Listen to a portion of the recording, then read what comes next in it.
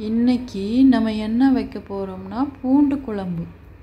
அதுக்கு ஒரு வானொலியில் எண்ணெய் ஊற்றிட்டு கடுகு போட்டு சீரகம் போட்டு நல்லா பொரிய விட்டுறணும். ஒரு கப் சின்ன வெங்காயம் போட்டு நல்லா வதக்கி விடணும்.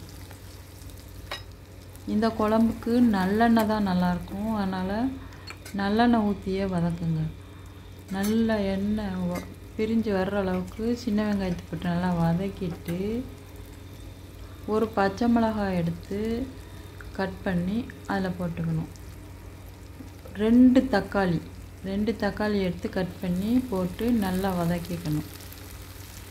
நல்லா வதக்கிட்டு ஒரு கப் வெள்ளைப்பூடு நல்லா உரித்து எடுத்து வச்சு இதில் போட்டுக்கணும். போட்டு நல்லா வதக்கிக்கணும். மூணு தக்காளி சின்ன வெங்காயம் பூண்டு நல்லா வதங்கணும். வதக்குறதுல தான் இருக்குது நல்ல எண்ணெயிலே நல்லா தவங்கி வதங்கி வரணும். நல்லா வதக்கிட்டு ஒரு எலுமிச்சம்பழம் சைஸ் புளி எடுத்து நல்லா கரைச்சி ஃபில்ட்ரு பண்ணி எடுத்து வச்சுக்கணும். இந்த தக்காளி வெங்காயம் பூண்டு மூணு நல்லா வதங்கின பிறகு புளி தண்ணி ஊற்றணும் புளித்தண்ணி ஊற்றிட்டு மசாலா பொடி ஒரு கரண்டி வத்தப்பொடி ரெண்டு கரண்டி மல்லிப்பொடி.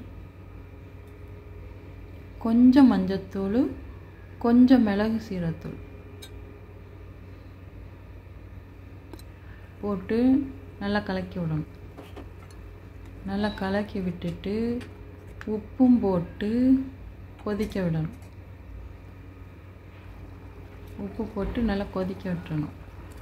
நல்லா கொதிக்க விட்டுட்டு ஒரு முறி தேங்காய் எடுத்து குட்டி குட்டியாக கட் பண்ணி மிக்சியில் அரைச்சி ரெடி பண்ணி எடுத்து வச்சுக்கணும்.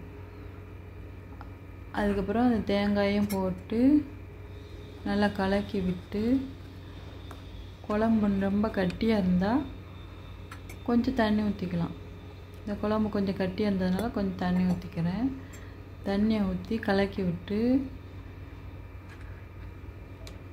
நல்லா தேங்காய் நல்லா கொதிக்கிற அளவுக்கு மூடி போட்டு ஒரு பத்து நிமிஷம் கொதிக்க விட்டு இறக்கி வச்சா டேஸ்டியான பூண்டு குழம்பு ரெடி நல்லா எண்ணெய் பிரிஞ்சு வர அளவுக்கு நல்லா கொதிக்க விட்டுறணும். பூண்டோட பச்சை வாசனை இல்லாமல் நல்லா வெந்துடும் பத்து நிமிஷத்தில். அது கடைசியாக கருவேப்பிலை போட்டு இறக்கி வச்சுக்கணும். இது இட்லி தோசை சாப்பாடு எல்லாத்துக்குமே செம டேஸ்ட்டாக இருக்கும். இந்த பூண்டு குழம்போட முட்டை ஆம்லேட் வச்சு சாப்பிட்டா செம டேஸ்டியாக இருக்கும். Thank you friends